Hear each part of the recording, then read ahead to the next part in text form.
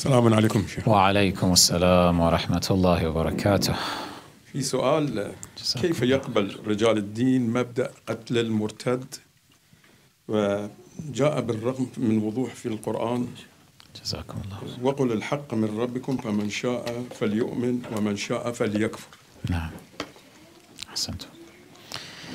نحن نقول بأنه في الحقيقة هذه العقوبات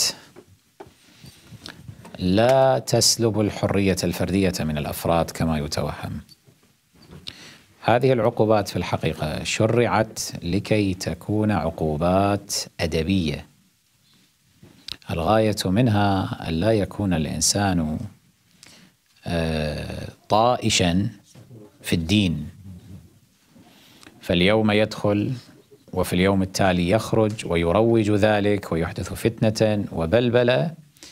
تنعكس كثيرا ما تنعكس على الأمن الاجتماعي. لأنه في تلك الأزمنة خصوصا ما كان هنالك انفكاك بين الاختيار الديني وبين الانتماء المدني. يعني دولة الرسول الأعظم مثلا صلى الله عليه وآله. هذه دولة دينية الذي قد أسلم أصبح تلقائيا مواطنا في هذه الدولة.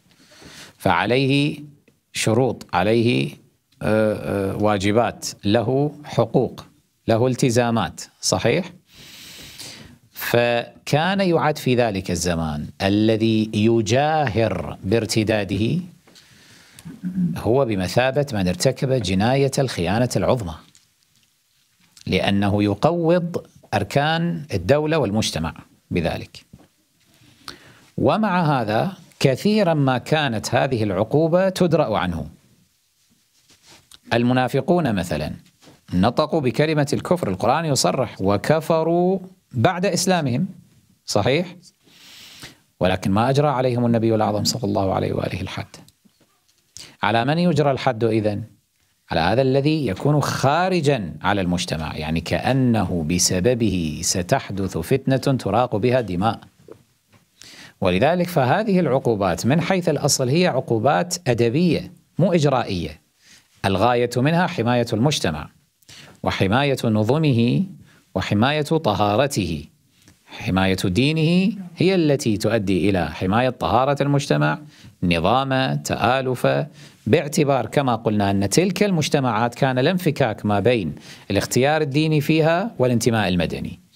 بخلاف ما لو جينا في مجتمعات تعددية كما هو الحال في مثل هذا المجتمع مثلا.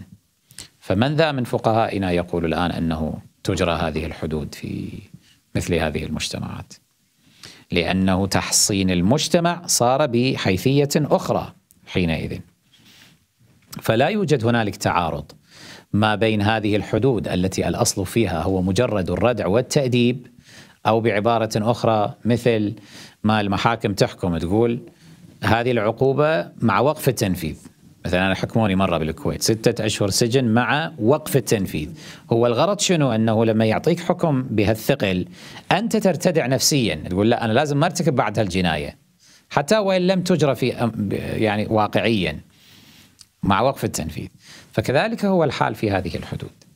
إلا اللهم إذا كانت الجناية بإذاعة الكفر أو إعلانه تعد نوعا من من من أنواع المساس بالأمن الاجتماعي. لا حينئذ طبعا تجرى لأنه مثل ما قلت لك مثل قضية خيانة عظمى صارت.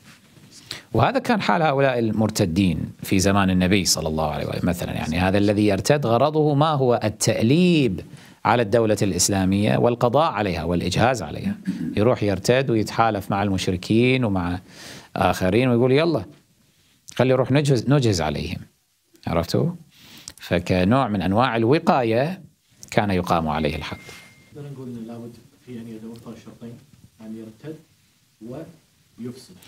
أن يرتد ويكون ارتداده بحسب أعراف ونظم الزمان والمكان من قبيل الخيانة العظمى التي تمس بالأمن الاجتماعي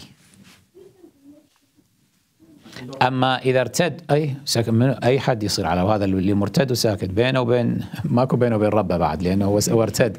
بس بينه وبين نفسه خلينا نقول هو ارتد خلاص. مكلم صديقه قايل له أنا مرتد مكلم زوجته قايل قايل له أنا مرتد. طبعا زوجته المفروض تبينه منه بس على أي حال. ما عليه ما عليه الشيء هذا ولا اكو اي شيء بس هو هذا إعلان بس إعلان شنو؟